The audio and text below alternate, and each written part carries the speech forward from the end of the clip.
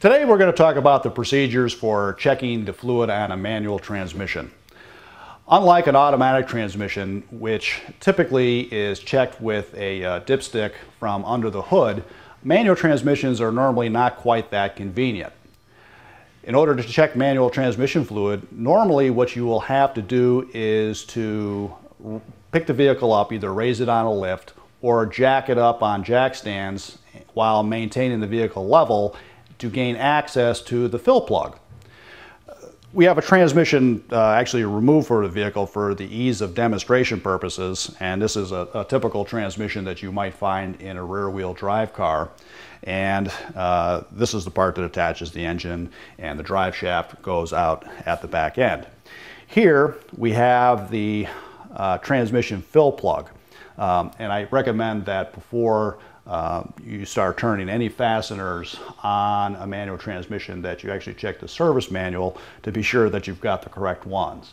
Uh, if you were to pull a bolt out of a manual transmission, uh, it's possible that the parts on the inside, if it is not actually the fill plug, could fall out and require disassembly of the entire transmission to uh, actually uh, return it to operating conditions.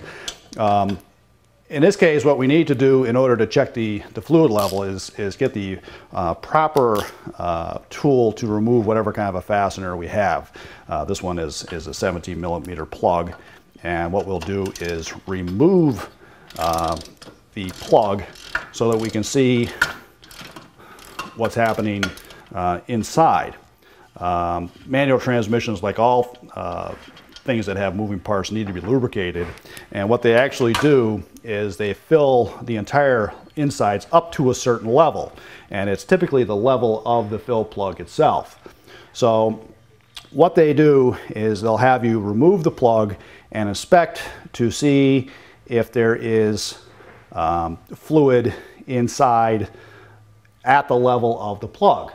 Uh, and you can either look through the hole to see if um, you have fluid or either using your finger or uh, a screwdriver actually reach through and dip in and pull it back out and see if you have um, uh, fluid on the, uh, the screwdriver itself.